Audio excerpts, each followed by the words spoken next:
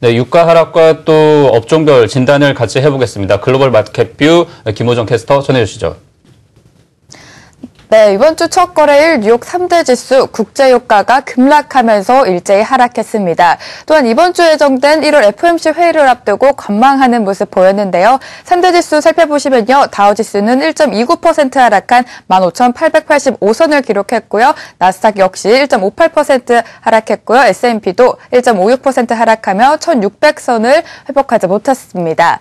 시장의 최대 큰 관심사는 바로 유가인데요. 지난주 후반 급등세를 보였던 국제유가는 이번 주 첫 거래일부터 또다시 하락세로 돌아섰습니다. 이라크의 지난달 산유량이 역대 최대치로 집계되면서 다시 한번 공급 과잉에 대한 우려가 커졌는데요. 거기다가 지난해 중국의 디젤 사용량이 급격하게 줄어들면서 중국의 원유 수요 감소가 악재로 작용했습니다. 유가는 다시 한번 30달러 아래선으로 내려앉았습니다. 살펴보시면요. WTI 7.70% 하락한 29.71을 기록했고요. 브렌트 역시 큰 폭으로 하락했습니다. 6.74% 떨어진 30선을 기록하며 장을 마쳤습니다. 다우지수 흐름부터 살펴보시죠. 이날 다우지수 하락 출발했습니다. 특히 이날 나온 미국 1월 델러스 제조업 지수가 나왔는데요. 1월 분이 하락세를 보이면서 경기 둔화에 대한 우려를 내비쳤습니다. 국제유가가 또 한 번 흔들리면서 대형 에너지의 하락이 다우지수의 하락을 견인했습니다. 다우지수 결국 하락하면서 16,000선을 이탈했습니다. 특징적인 종목도 한번 살펴보시죠. 국제유가가 급락하면서 대형 에너지 업주인 쉐보론과 엑선모빌은 큰 폭으로 하락했습니다. 쉐보론 살펴보시면요. 이날 계속해서 하락하는 모습을 보이다가 80달러 선을 겨우 지켜내며 3.17% 하락한 80.89 선에 마감했습니다. 이날 국제유가가 또다시 하락하면서 시장은 흔들렸습니다. 사우디 아람코 최고 경영장은 셰일 업체와 함께 가야 한다고 강조했는데요. 그 발언 함께 살펴보시죠. 사우디아라비아의 국영 석유 기업인 아람코의 최고 경영장은 장기적으로 셰일 업체와 함께 가야 한다고 강조했습니다. 현지 시간 24일 인터뷰를 통해 사우디와 같은 저비용 생산국을 포함한 국가들은 물론 셰일 업체들도 원유 생산에 기여해야 한다고 지적했는데요. 근데 사우디의 목표는 셰일 업체들 의 종말뿐만 아니라 모든 생산자가 안전된 역할을 담당할 수 있도록 원유 시장이 균형을 회복해야 한다고 밝혔습니다. 또한 그는 매년 추가적으로 공급량의 수요와 균형을 이루어, 이루어 초과 공급을 없애게 하는 것이 우리의 최종 목표라고 강조했습니다.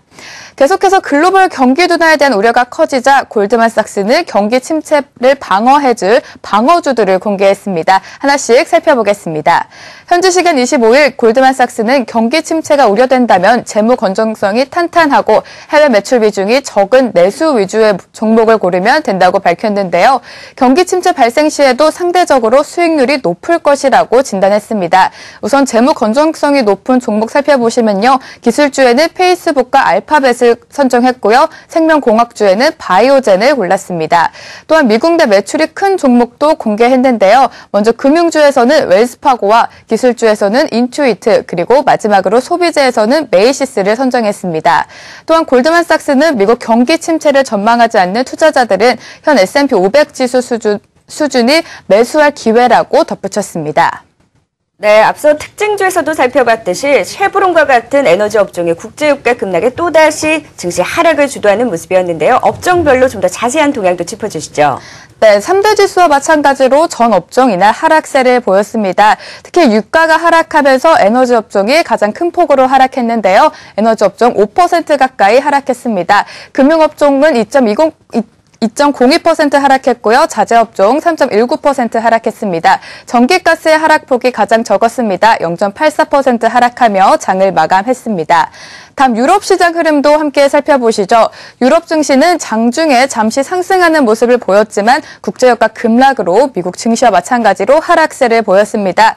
독일 닥스 지수 살펴보시면요. 0.29% 하락한 9,736선에 마감했고요. 프랑스 까크 지수 역시 하락세를 보였습니다. 0.58% 하락한 4,311선에 장을 마감했습니다. 다음 상품 시장으로 넘어가 보시죠. 이날 달러 인덱스 국제유가의 하락으로 또다시 하락세를 보였습니다. 보였습니다. 달러 인덱스 0.22% 하락한 99.36을 기록했고요. 반면 국제 금값은 유가 급락과 달러 약세 영향으로 상승세를 보였습니다. 0.82% 상승하며 1,105선을 기록하면서 1,100선을 회복하는 모습 보여줬습니다. 앞서 말씀 살펴드린 것처럼 WTI와 브렌트유 5%, 7% 가까이 하락하며 장을 마감했습니다. 지금까지 시황센터에서 전해드렸습니다. 네, 해외 시장 마감 동향까지 짚어봤습니다. 시황센터의 김우정 캐스터였습니다.